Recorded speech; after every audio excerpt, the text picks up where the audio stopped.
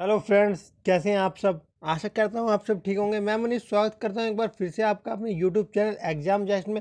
इस वीडियो में हम बात करने वाले हैं एनटीपीसी के जो आपके एडमिट कार्ड हैं लेवल फोर और लेवल सिक्स के लिए, वो कब तक आ जाएँगे?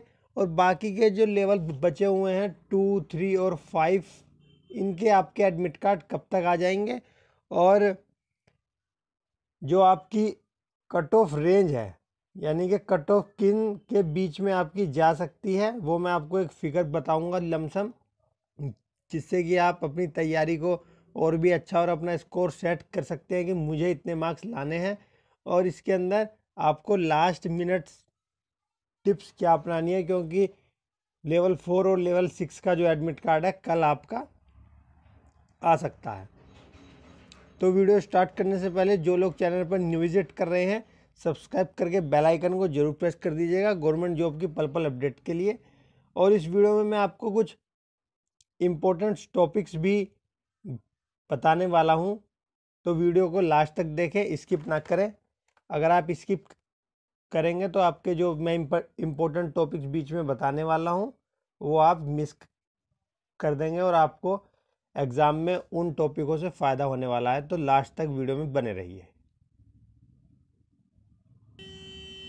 सबसे पहले हम बात करते हैं एडमिट कार्ड आपके कब आ जाएँगे। तो ये मैं आरआरबी इलाहाबाद की ऑफिशियल वेबसाइट पर हूँ और इसके अंदर 28 अप्रैल को जो है मिनिस्ट्रियल आइसोलेटेड कैटेगरी के स्किल टेस्ट का जो रिज़ल्ट आया है, उसका लिंक इन्होंने दे दिया है।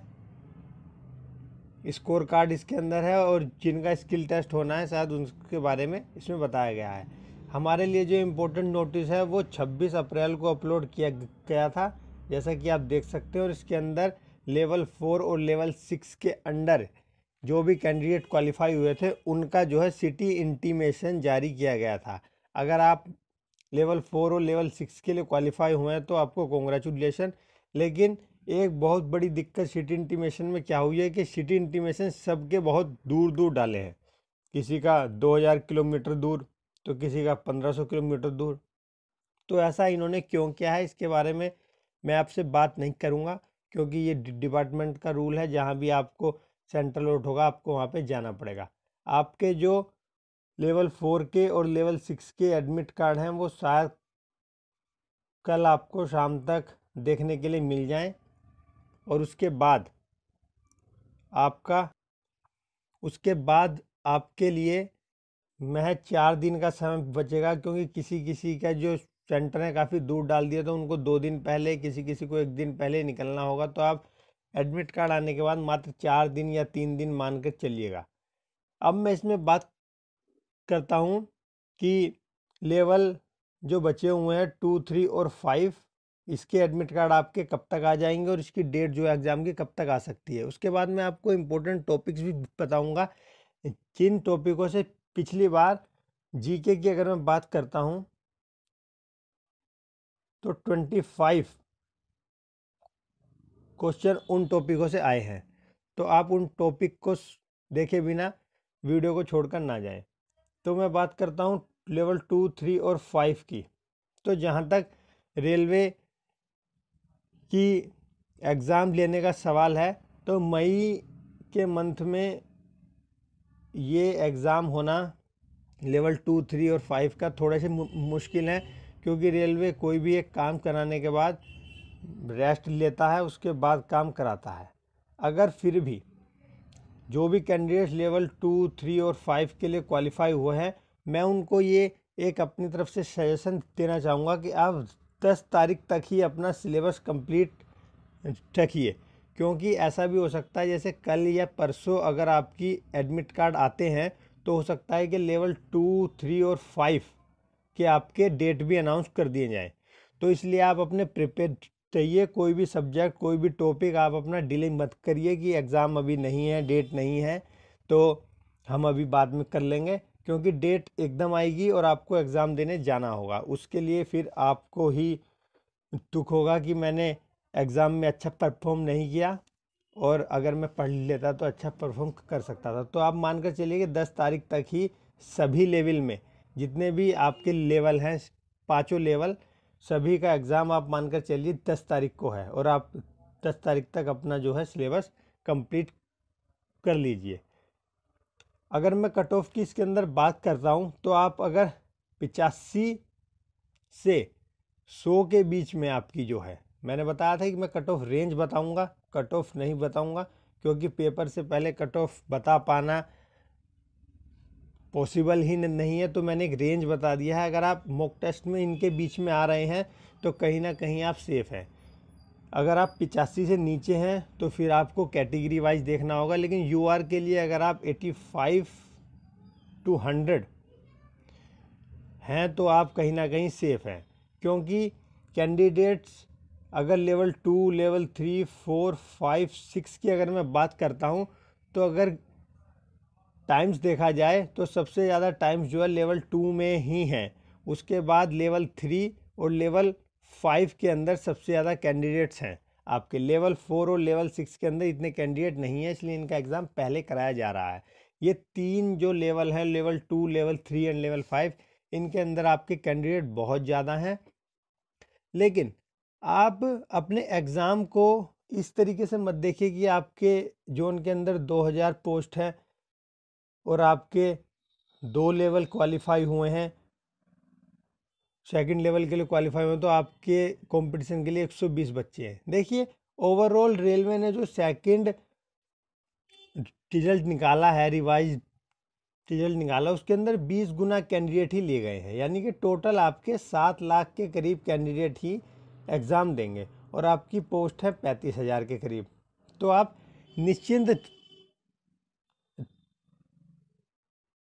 निश्चित रह सकते हैं, क्योंकि अगर आपका क्वालिफाई हो चुका है और आपके स्टेट में या आपके जोन में कंपटीशन ज़्यादा है तो पोस्ट तो कहीं ना कहीं पैंतीस हज़ार कैंडिडेट या फिर जितने आपके वैकेंसी हैं आपके जोन में, उतने को मिलेगी।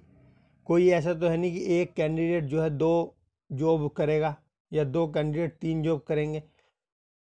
करेंगे तो सब एक ही जॉब। हाँ ये कह सकते हैं कि जिसके ज़्यादा नंबर आएँगे तो वो ग्रेजुएशन वाली, लेवल सिक्स वाली, लेवल फाइव वाली पोस्ट को ही चुनेगा।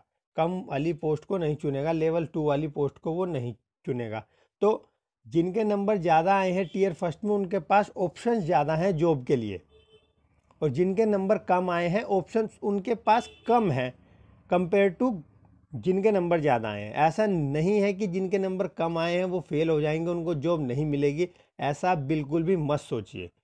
तो चलिए, अब मैं आपको कुछ इम्पोर्टेंट टॉपिक्स बता देता हूँ कि जो आपके एग्ज़ाम के लिए पॉइंट ऑफ़ व्यू से बहुत ही ज़्यादा इम्पोर्टेंट देखिए, जैसे कि आपको सभी को पता है कि पचास नंबर की आपकी जो है जी के आनी है।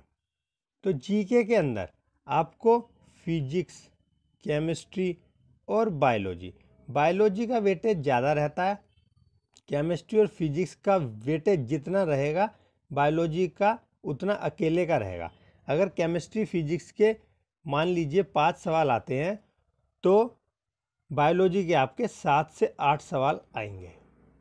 अगर आपने इन दोनों को अच्छे से कर लिया है तो आप इजीली एग्ज़ाम में अच्छा परफॉर्म कर सकते हैं। अगर मैं बात करता हूँ टॉपिक्स के बारे में तो फिजिक्स के अंदर आपको लाइट से सवाल देखने के लिए मिलेंगे और आपका हो सकता है एक दो न्यूमेरिकल भी आ जाए।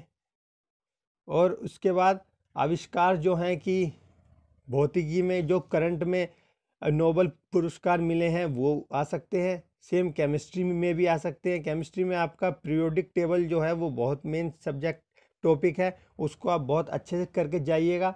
और पीरियोडिक टेबल के बाद केमिस्ट्री के अंदर जो रिएक्शंस हैं आपकी, ऊष्मा शेपी, ऊष्मा शोषी एग्जोथर्मिक रिएक्शन कौन सी होती है, ये सब। और इसके अंदर जो केमिकल्स के नाम हैं, जैसे सी को कैल्शियम हाइड्रोक्साइड या कैल्शियम ऑक्साइड को क्या बोलते हैं? बिना बुझा चूना बोलते हैं या चूना बोलते हैं? ये इन इस सब्जेक्ट में से इन सब टाइप के सवाल आएँगे। और अगर मैं बात करता हूँ बायोलॉजी के बारे में आपसे तो बायोलॉजी के अंदर आपको ह्यूमन बॉडी पूरा पढ़ना है और पादप जो चैप्टर है आपका, उसको अच्छे से पढ़ना है और आपका जो इसके अंदर विटामिन्स हैं और आपके ब्लड वाले कि ओ ओ ब्लड का है छोटे सवाल आपसे पूछ सकता है तो आप सभी के लिए प्रिपेयर होकर जाइए।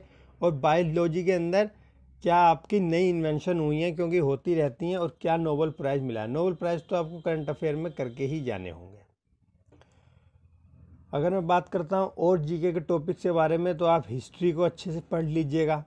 हिस्ट्री हिस्ट्री के अंदर जो आपका गांधी का एरिया है, गांधी से रिलेटेड जो भी पार्ट है, उसको अच्छे से कवर कर लीजिएगा। ज्योग्राफी के अंदर आपके डैम्स हो गए अभ्यारण हो गए, ये सब आप इजीली याद कर सकते हैं। और आपकी रिवर्स हो गई, आपके लेक्स हो गए, आपके दर्रे हो गए, ये सब आपको याद कर लेने हैं।